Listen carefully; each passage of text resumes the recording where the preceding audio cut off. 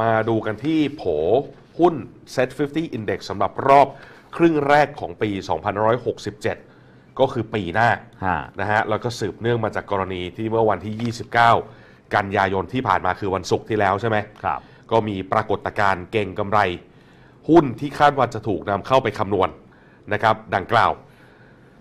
โดยตลาดหลักทรัพย์แห่งประเทศไทยนะครับจะใช้ข้อมูลในการพิจารณาคัดเลือกหุ้นเนี่ยไปจนถึงวันที่ 30เอ่อ พฤศจิกายนนี้นะครับเอ่อซึ่งที่ดูแล้วเนี่ย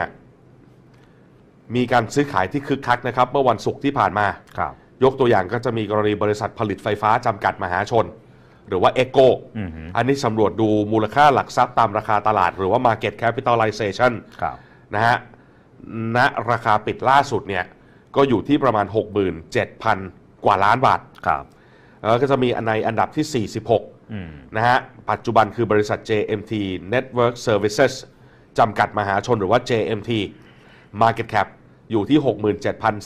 67,435 ล้านบาท อันดับ 47 นะครับ บ้านปู Market Cap 67,359 ล้านบาท อันดับ 48 ไทยยูเนียนกรุ๊ปหรือว่า TU Market Cap 66,678 ล้านบาท และอันดับ 49 โรงแรมเซ็นทรัลพลาซาหรือเซนเทลนะครับ Market Cap อยู่ที่ 63,973 ล้านบาท ก็บรรดาหุ้นเหล่านี้นะฮะ ที่ไล่เรียงมาเนี่ย ก็ถือว่าเป็นหุ้นขนาดใหญ่ที่มี Market Cap ใกล้เคียงกันนะฮะ มากกว่า 60,000 ล้านบาทขึ้นไปอืมก็ถือว่าเป็นกลุ่มหุ้นที่มีโอกาสจะเข้ามาแทนที่หุ้นใหญ่ที่อาจจะหลุดออกจากการคำนวณใน Set 50 Index รอบนี้ด้วยอืมอืมนะครับนะฮะ แล้วก็ถ้าดูจากตัวนี้น่าสนใจแล้วครับว่าหุ้นใหญ่ที่เอ่อดูแล้วมีโอกาสที่จะเอ่อซุ่มเสี่ยงนะครับที่จะหลุดไม่ว่าจะเป็นกรณีของเดลต้าอันนี้ชัดเจนนะครับเพราะเนื่องจากว่าเดลต้าเองนะครับในช่วงที่ผ่านมาเราได้เห็นนะครับว่ามูลค่าการซื้อขายเหือดแห้งลงไปอืมก็ทำให้ turnover risk เอ่อ ratio เนี่ยต่ำกว่า 2%นะครับอันนี้ก็จะมีความเสี่ยงที่จะหลุดนะครับแล้วก็ทำให้เห็นว่าปรากฏการณ์ที่เราได้เห็น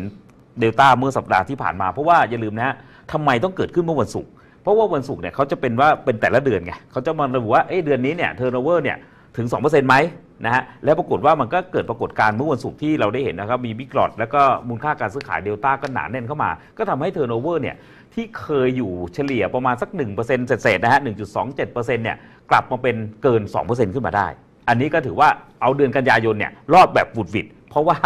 ไอตัวบิ๊กหลอดเมื่อวันศุกร์ที่ผ่านมานั่นเองนะครับนะฮะ ก็โดยสรุปนั้นเนี่ยนะฮะครับก็คือมูลค่าหลักทรัพย์ตามราคาตลาดอย่างเดียวอาจจะไม่เพียงพอ ไม่เพียงพอ ต้องดูสภาพการซื้อขายครับเอ่อประกอบควบคู่กันไปด้วยอ่าแล้วก็แน่นอนในส่วนของการซื้อขายหากว่าผิดปกติอือฮึตามคำนิยามของทางตลาดหลักทรัพย์เนี่ยครับนะฮะมันก็จะต้องมีการถูกอ่าเอ่อบังคับใช้มาตรการครับยกตัวอย่างเช่น cash balance อ่าซึ่งถ้า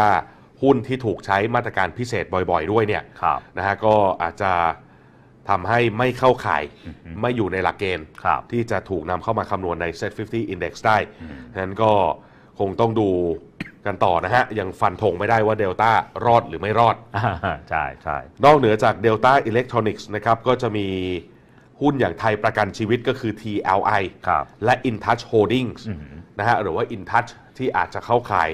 เรื่องสภาพคล่องในการซื้อขายใช่นะฮะต่ำกว่าเกณฑ์อ่า ซึ่งก็เดี๋ยวดูนะฮะว่าอย่าง InTouch เอง ซึ่งก็เป็นแม่ของ Advance ใช่ไหมครับเป็นแม่ Advance นะครับก็ดูแล้วในเชิงปัจจัยพื้นฐานนี่ไม่ได้มีอะไรน่ากังวล ไม่มีอะไรเลยแล้วก็หลังจากนี้น่าจะได้เห็นแต่พัฒนาการสำคัญที่เกิดขึ้นครับนะฮะตรงนี้จะมีการซื้อขายที่มันคึกคักอือหือเอ่อมากขึ้นหรือไม่อืมนะฮะเนื่องจากว่ามันก็เป็นความจำเป็นอย่างหนึ่ง ถ้ายังจะยังคงเมนเทนครับหรือว่ารักษาสภาพของการอยู่ในเซต50 ต่อไปได้อือหือนะ การซื้อขายมันครับจำเป็นจะต้องคึกคักมากขึ้นกว่าเดิมอ่าเออใช่เมื่อเมื่อจะเป็นให้คึกคักเพราะเนื่องจากว่ามันจะต้อง turnover ratio เนี่ยมันต้องเกิน 2%ขึ้นไปนะฮะอืมเพราะว่า market cap เนี่ยโอ้โหของอินทัศไม่ต้องพูดถึงอะสองแสนกว่าล้านยังไงก็ผ่านฉลุย หรือว่าเรื่องของปัจจัยอื่นๆนะครับไม่ว่าจะเป็นโดนเอ่อมาตรการกำกับของตลาดหลักทรัพย์ก็ไม่เคยโดน เพราะฉะนั้นอันประเด็นที่ 2 ก็ตกไปไม่มีปัญหา ก็จะมีเรื่องเดียวแค่นั้นเองเรื่องของ turnover นะครับนะฮะ แล้วก็ต้องจับตามองนะฮะ ตามที่เรารายงานไปในช่วงต้นครับเอ่อพวกที่มี Market Cap สูงสุดในตลาดตั้งแต่อันดับ 45 ครับนะมาจนถึงอันดับที่ 49 ครับนะฮะอย่าง Echo เอ่ย JMT เอ่ยฮะบ้านปูครับ TU Centel นะเหล่านี้เนี่ยจะขึ้นมาเสียบแทนเออหุ้นที่หลุดออกจากการคำนวณในรอบนี้ด้วยได้หรือไม่อ่านนะฮะก็ครับถือว่าเป็นอีกหนึ่ง ประเด็นใหญ่ที่เดี๋ยวเราก็คงจะเฝ้าเกาะติดดูความคืบหน้านะฮะเพื่อนำมารายงานให้ทราบกันต่อไปครับ